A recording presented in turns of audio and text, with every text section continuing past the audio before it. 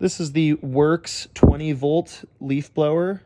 Comes in this awesome black and orange color, as you can see.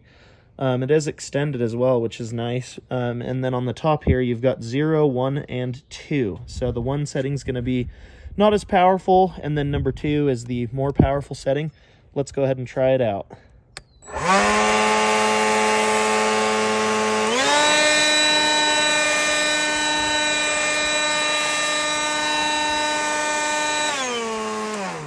Kind of gives you an idea of how it works. Really awesome product.